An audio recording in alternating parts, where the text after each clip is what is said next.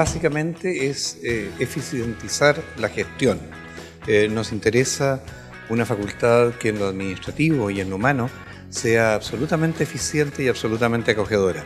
Por lo tanto, nos parecía que era eh, muy bueno aprovechar este edificio para lograr esta eficiencia con personas trabajando en pro de la facultad de nuestros estudiantes.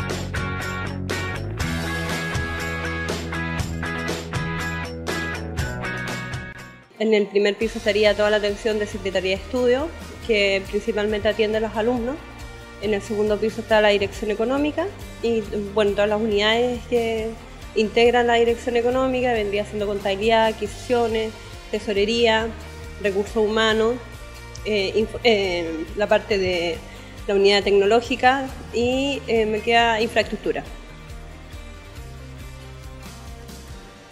Antiguamente lo que era la unidad personal estuvo como migrando de distintos lugares, trabajaron mucho tiempo separadas.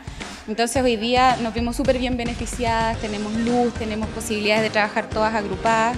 Así que estamos súper contentos y estamos toda la dirección económica acá. Entonces también nos permite poder generar vínculos fluidos para poder brindar un mejor servicio a los académicos y por ende a los alumnos.